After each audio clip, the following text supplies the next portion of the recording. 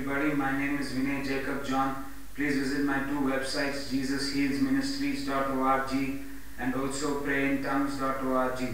Today we are going to read from the New Testament of the Holy Bible about the government of Jesus, apostle, prophet, evangelist, pastor, teacher. Let's turn to the book of Matthew chapter 25 verse 14. For the kingdom of heaven is as a man traveling into a far country, who called his own servants and delivered unto them his goods. Verse 15 And unto one he gave five talents, to another two, and to another one, and to another one, to every man according to his several ability, and straightway took his journey.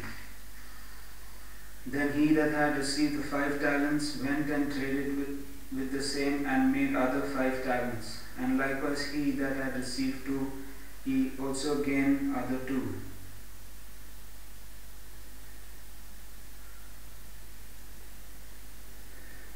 Verse 20, verse 19. After a long time, the Lord Jesus of those servants cometh and reckoneth with them, and stand for accounts. Verse 20 And so he that had received five talents came and brought other five talents, saying, Lord Jesus, thou deliverest, delivered unto me five talents. Behold, I have gained beside them five talents more. 21 Jesus said unto him, Well done, thou good and faithful servant. Thou hast been faithful over a few things. I will make thee ruler over many things.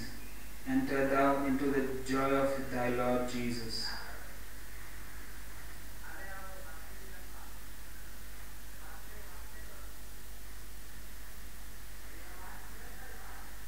Verse 31 When the Son of Man, Jesus Christ of Nazareth, shall come in his glory, and all the holy angels with Jesus, then shall Jesus sit upon the throne of Jesus' glory.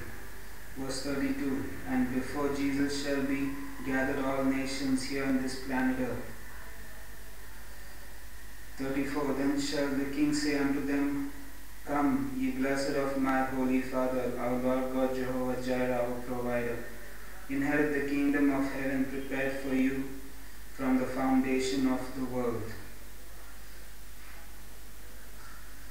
Ephesians chapter 4, verse 11. And Jesus gave some apostles, and some prophets, and some evangelists, and some pastors and teachers. Those are the five talents that Jesus gave to us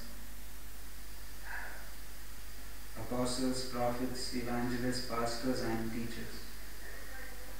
The fivefold ministry of Jesus Christ of Nazareth. Romans chapter 8, verse 26. Likewise, the Holy Spirit also helps our infirmities or weaknesses, for we know not what we should pray for as we ought from our mind. But the Holy Spirit prays in our spirit and knows what the will of Jesus is for the sake of the saints here on this planet Earth, that we may be, that we may be, that we may grow into the measure of the stature of the fullness of Jesus Christ of Nazareth. But the Holy Spirit, the Holy Spirit Himself makes intercession for us with groanings which cannot be uttered. Groanings which cannot be uttered means that we bear, bear the burdens of one another here on this planet Earth and so fulfill the law of Jesus Christ of Nazareth.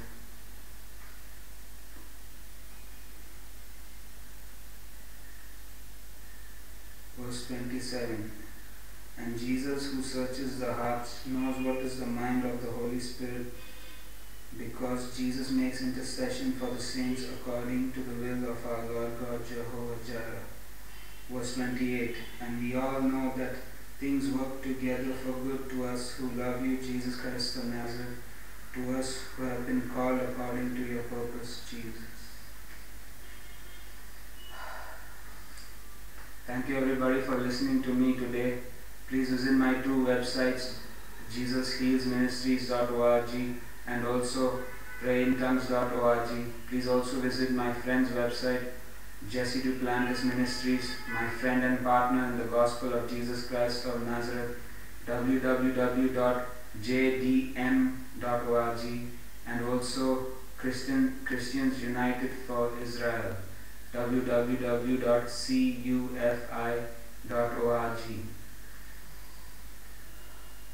Jesus loves us all, Jesus heals us all, Jesus provides for us all, always. In the name of Jesus Christ of Nazareth, amen.